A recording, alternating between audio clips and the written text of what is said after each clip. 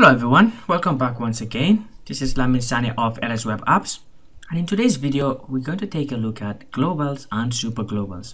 Okay, so basically let's start with globals first. So if you remember, um, we kept creating variables in PHP. So um, let's say we create some variable, let's say um, random number equal to 4.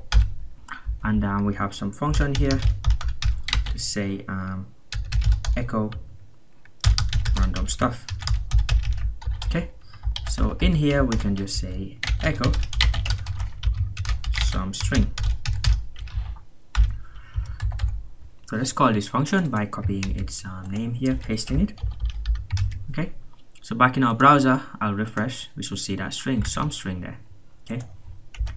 All right so basically if you remember last time I said that you can access um, stuff outside the function scope by using either um, the global keyword or if it's in the case of an anonymous function you have to use the use keyword here okay? But the global um, in PHP which is dollar sign underscore um, or dollar sign global as here it has everything every variable that is accessible in a global scope. And what do I mean by that? So let's say um, we want to access this random number here. So this globals here is an array which has access to everything in your script that is not inside a function. So this number here is just exposed randomly outside the um, function and is not enclosed in anything. So we can just say um, random number here access it as a key.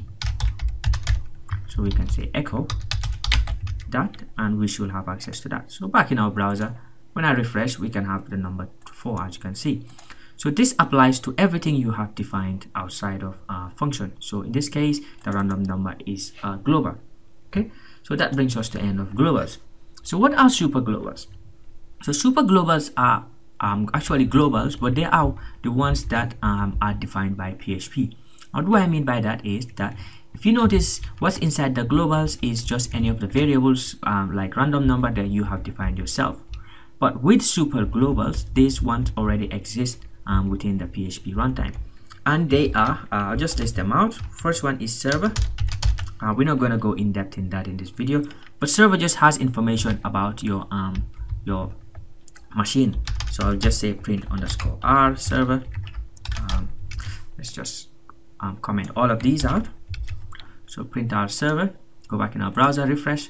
As you can see, um, server has all these information here like the http host and keep alive and um, the headers and everything okay? So that's what's inside server. So we'll comment that out. So the next super global is um, get. So dollar underscore get which we'll also do in its own video. Uh, but for now let's just print out and see what's in it. So I'll go within the browser and I'll refresh. As you can see the get has nothing in it. But the get will have something if I did um, like this for example um, some param equal to 3 and I press enter. Now the get has that some param. So this is what defines the get whatever you pass in your URL okay? But in this video we're not going to go in depth in that. So next is the post okay? So post if you have been using forms before you know that post is filled when um, you have submitted a form using the post verb PHP verb okay? So let's refresh and see what's in the post. As you can see it's also empty but if we had created a form and submitted it, the post will have the values in the form. So the next um, super global is files. So that's also um, called dollar underscore files. And as obviously as of now, it will have nothing in it because we have not submitted any files from a form. Okay. So there are three other um, super globals, or actually um, four, but um, only one of them is mostly used. So the um, fifth one is dollar underscore session. And um, session is only created when you've called the session start function, which we'll deal with in other series when we're dealing with login and um, registration and stuff like that. So when I refresh, um, it says that session does not exist because um, I have not called session start. So let me just say session start.